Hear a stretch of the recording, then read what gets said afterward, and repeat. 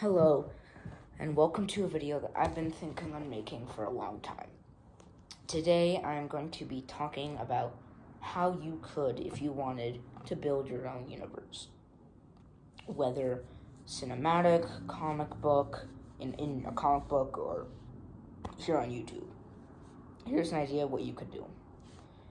So, as you know, um, if you watch all of my YouTube channels that I've done, um, one of them being um, uh, it, LMF Productions, Key Comics Productions, whatever. Um, sorry, I'm a bit sick. Um, in that channel, I basically just do stop motion stuff. Not only stop motion, I, whatever you call it.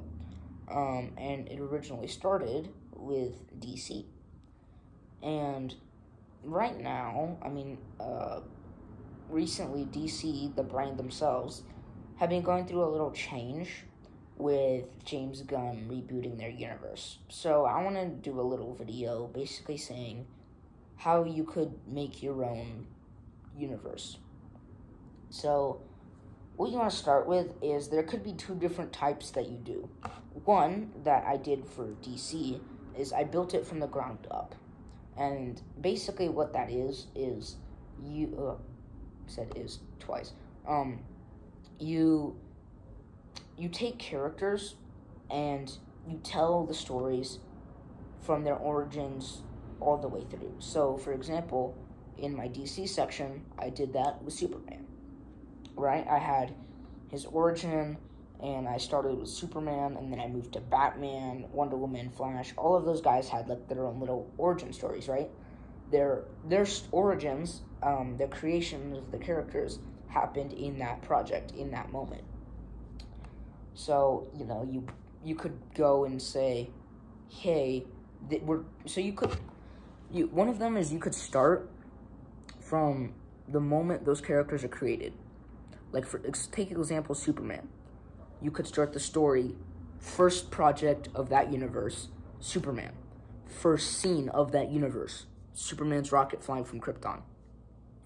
That could be the first thing right? From there, you would basically be kind of setting up a um, a universe where the characters you're you are watching them be created. You're watching Superman grow up to be the Man of Steel. You're watching Batman's parents get shot and him getting turned into Batman, right? You're watching you're you're seeing it as it's happening, right? So that's what I did for DC.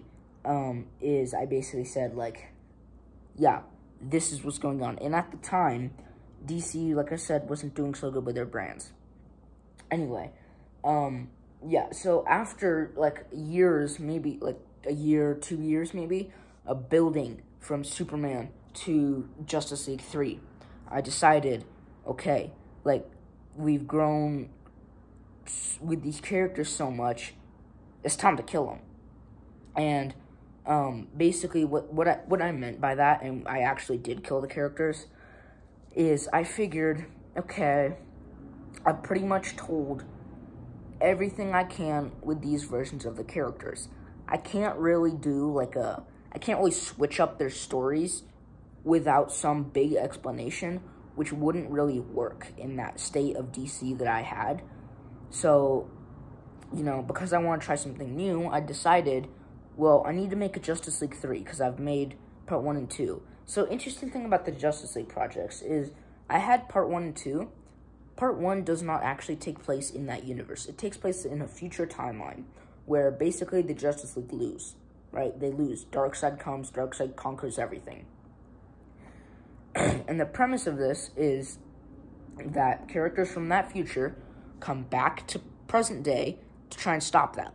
Once they stop that, then you're on the new path of the new stories I wanted to tell. It's basically an excuse to tell different types of stories. so I told, I gave Justice League 3.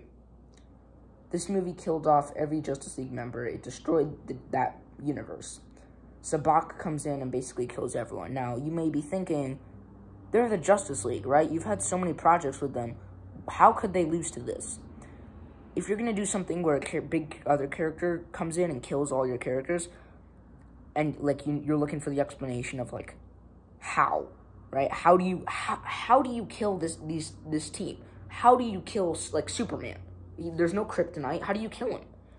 The answer is that they weren't ready. And what that means is and this is what I did is you could say okay, the reason they died like this, the reason I lost like this is because up until this point, you know, they've been dealing with these these easy guys, right? You've had Superman fight um I don't know, Lex Luthor. Okay, he's a human, right? Over the years Superman learns how to deal with that, right? Batman, Killer Croc, okay? Big monster, trouble at first, he can take care of him. You know, Green Lantern, same villain, other lanterns, right? It's it's the same thing. After a while, they learn how to defeat these guys pretty quick. So, to make something different, I thought, okay, what if they face, what if they're at this point in their lives, they are so confident in things that when a real powerhouse demon shows up, basically, okay, in Black Adam, Sabbac is a joke, so I kind of took him, I'm like, this is a demon. This guy could have more potential, so I turned him into this villain. So, um, basically, in this Justice League 3, the Justice League are all high and mighty, right? You could do this with your team if you want to kill them. They're all high and mighty, you know. They're like, oh, I, I can do anything. Um, side comes to Earth, pff, doesn't matter. I'll just punch him. I'll be fine, right? Basically, kind of secretly relying on that plot armor. Well, Justice League 3, there is no plot armor. If you're gonna do a universe reset and you really want to show how real these characters can be, don't give them plot armor. Just let it happen. So in Justice League 3, they basically realize there are beings out there that could kill them.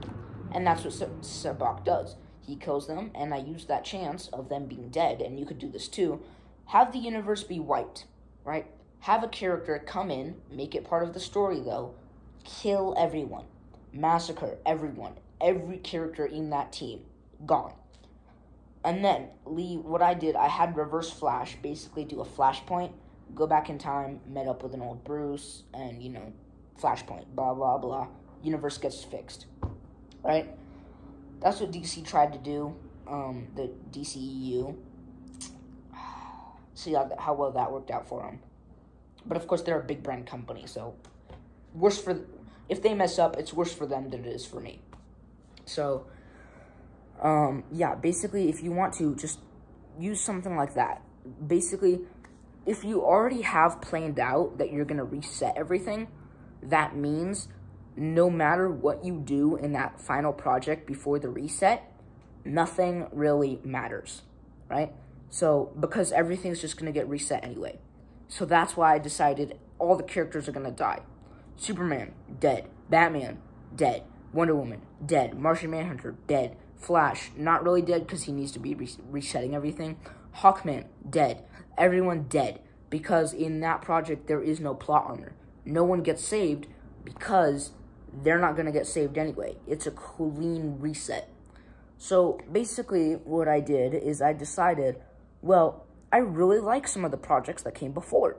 So I used the logic because if you create this, you can do anything. You are the creator, right? Nothing can stop you. No one can stop you because it's your universe. You made it. You can make the rules. So I decided, okay, this is gonna erase. This is what X Men Days of Future Past did. Erase the events of whatever you want to erase. Keep everything else good there. So I erased the events of Justice League 3, so Sabbac never killed anyone. And basically made it so Sabak Sabbac didn't show up. He doesn't exist, right? Justice League didn't die. They, they remember, okay, they remember things up to a certain point. Basically, so you can keep the story of like, oh, this is the same team. They have the same memories. Have them remember something up to a certain point, but then after that, it's like, wait, it's kind of fuzzy. So basically for me, the, the new Justice League that I'm using in this new universe, is they remember everything up until they were right about to plan to fight Sabbac. So they already have all that knowledge. That's how what you would want to do if you're going to just wipe everything and then restart. If you wanted to keep the same continuity. If you want to make a whole new universe based off characters that already exist, like I'm doing with Marvel, here's what you should do. You could either one, build everything from the ground up, meaning you have your own project, Iron Man origin story, Captain America origin story, Hulk origin story, you know, do their origin stories like that. Or, which is what I'm doing with Marvel and what James Gunn is doing with DC, you go and you decide, okay, here we go. Marvel, because this is what I thought. Marvel characters, Hulk, Iron Man, Thor, they are so well known, everyone already knows their origins. Sure, I could put a little twist on it like I did with DC, but it would be better not to show the origin and instead kind of give little hints to it in the projects itself. So I'm not. It, let's say in a in a Hulk project, I'm not gonna say, "Oh yeah, the Hulk um, got hit with a gamma bomb," right? It just dropped on him. I'm not gonna say that. I'm gonna say something different, but not show exactly what happened. I'm gonna say like, like something like, "Yeah, the accident turned me into this," right? I'm not gonna say exactly what happened in case I want to change it later. So that's something you could do if you wanted. You don't need to, but it's it, it's just a thought. So in Marvel, uh, my Marvel projects, I'm leaving the door open because I can pull whoever I want into that universe, and I can keep whoever I don't want out. So I'm having I'm working on the X Men project right now, right? You know the X Men, but I'm gonna do my own spin on it. So they already exist. It's just like telling it. Okay, so think of it like this: think of like the team already having so many adventures. The project is just showing one of the many, right? So it's it, it won't be like their first or last mission. It'll be one of the thousands that they have. So yeah, and um, that you could you could do that. That's something you could do if you wanted. Um, you don't need to, um, but you you could. Um, it's what I think is James Gunn is doing a hard, uh, soft reboot, which is where you basically take the good parts of the universe that you want and get rid of the bad stuff and reboot with the new characters that you like. That's what he's doing. I think it's a pretty okay idea. You have the hard reboot, which is where you which is where you reboot everything no characters, no characters left. Everything gets wiped. Basically, what that means is if you have, uh, let's say, a line of Superman, Batman, Green Lantern, Justice League movies, right? In this wiped, uh, complete reset universe, none of those exist anymore. All right, that Superman is gone. He doesn't exist. No one knows him. That version of Batman doesn't exist. Right? Basically, you're starting complete scratch and then and that that's a hard reboot. Soft reboot, James Gunn, and yeah, that that those are basically the two types of reboots. So yeah, um, hopefully that helped. If you're gonna build a cinematic universe, comic universe, those are some ideas. If you're gonna kill it, bring it back, um, whatever whatever you want to do with it. Um, hope you guys enjoyed this. It was really fun making this, and I'll see you later.